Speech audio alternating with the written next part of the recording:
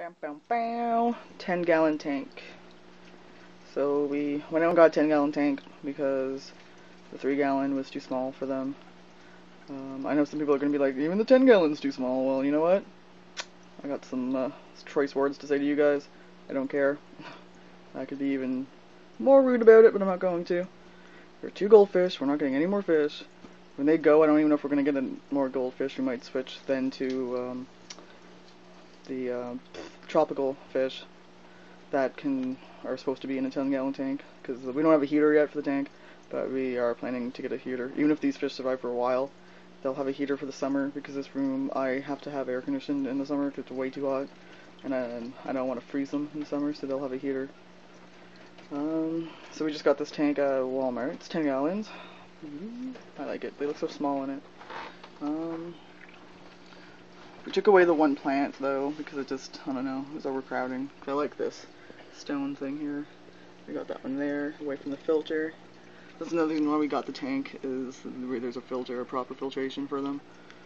Instead of changing like 30% of the water like every two days. It's a little annoying. There's that purple plant, that's really nice.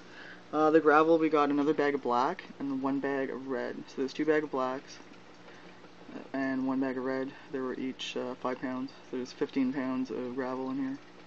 Uh, then we used the air pump from the last little tank, but I bought an air stone. It's just a shell, but I had to bury it because it was floating. And that was like only $1.50 for the stone, which is kind of cool since we already had the pump. So we got some bubbles going on that corner in the filter.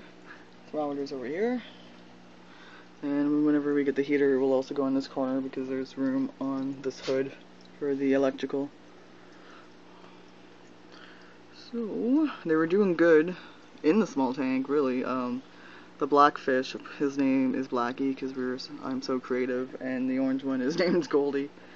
So Blackie and Goldie. The Blackie didn't look good the first day we had him, and then the next day he looked better.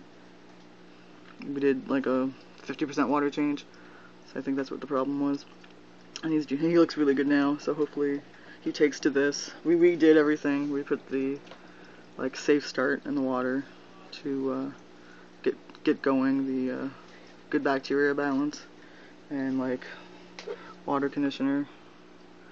Water conditioner's in there. Uh, aquarium salt is in there. They like that. It's good for their gills. It's good for disease.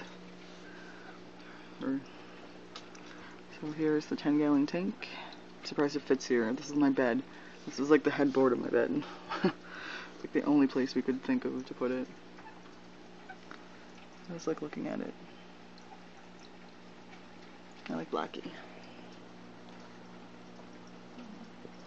It's Goldie.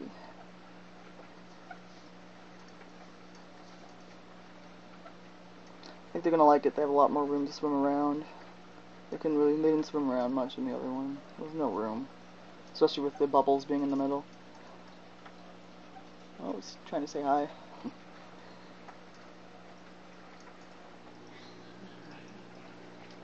okay, eh, so that's probably the where he's going. Probably will be the last video about the fish for a while because there's probably nothing more interesting to show of them unless something changes.